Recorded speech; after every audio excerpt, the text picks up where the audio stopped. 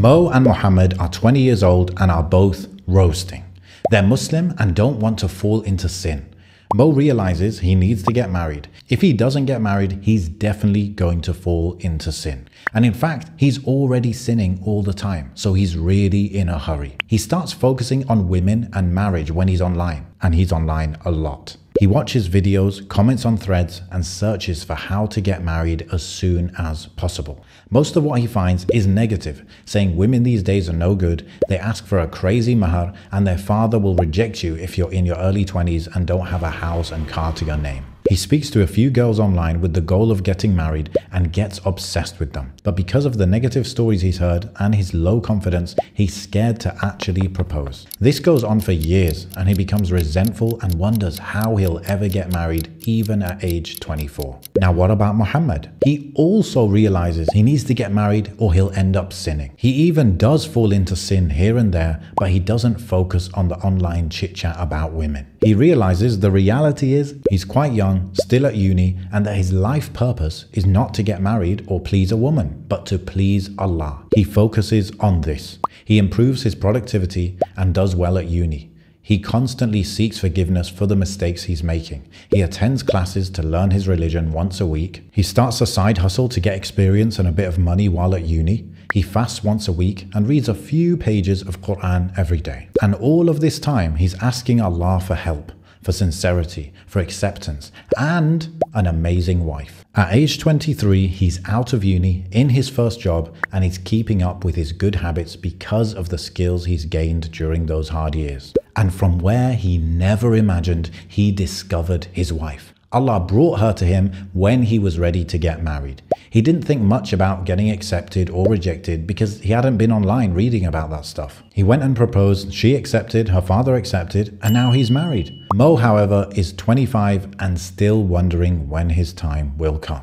Assalamu alaikum. I'm Ameen and I wrote this book on Islamic masculinity. When you hear these two people's stories, what comes to mind? What's the difference? It's what they focused on. One of them focused on Allah, pleasing Allah, making real progress in their life, and the other focused on women and how to get validation from them. Both really wanted and needed to get married, but because of their different focus, one of them got a different result to the other. Now, this is quite dangerous because if you've ever been in Mo's shoes or a similar situation, you'll know the position that you put women on in your life. Your happiness is based on a woman wanting to marry or validating you. Your time is devoted to chasing women, stalking them online, or even worse. All in all, you seek to please women. Your worship is even used sometimes to try to please women by doing it and then posting it online. Now, I'm not saying this officially, but from what I learned in classes, this sounds a bit like shirk, meaning putting people in a similar position to Allah, which is completely wrong and one of the biggest sins in Islam. So the question comes, are you doing shirk with women? Maybe, possibly? You're supposed to dedicate your time, your love, your seeking of pleasure, your seeking of reward from Allah,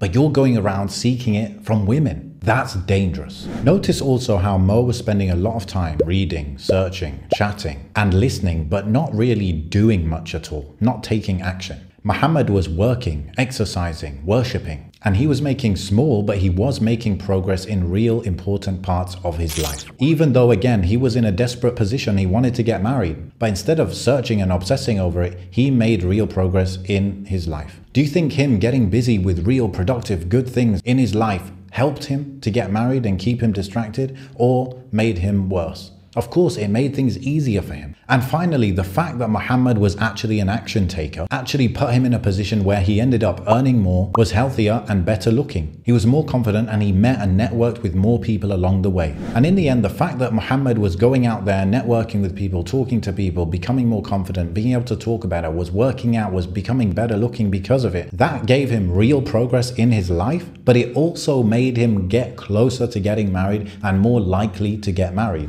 The fact that Muhammad was an action taker actually actually put him in a better position to get married, even though he wasn't thinking and paying much attention to how women are or how the marriage scene is. So, all in all, from this example, you can see that if you put all your focus on Allah, you try to please Allah, you try to make real progress in your life, and when possible, yes, put the steps in place to try to get married, but don't obsess over it and make women your God. And by the way, the obsession over women includes making every video on YouTube that you make about them, criticizing them. You know who you are. Keep in mind that Allah is the one who can bring you a wife at any moment. You just have to focus on your life purpose, on pleasing Him, and putting efforts towards getting married, but also making progress in other areas of your life. Remember your goal, put work towards what you want to achieve, and ask Allah for what you want, and then have trust in Him. And if even after watching this you still feel like there's too much competition out there for the good women, then I've made a video just for you. It's called Giving Hope to Single Muslim Men. Check that out next. And Assalamu alaikum wa rahmatullahi wa barakatuh. See, I could really break down,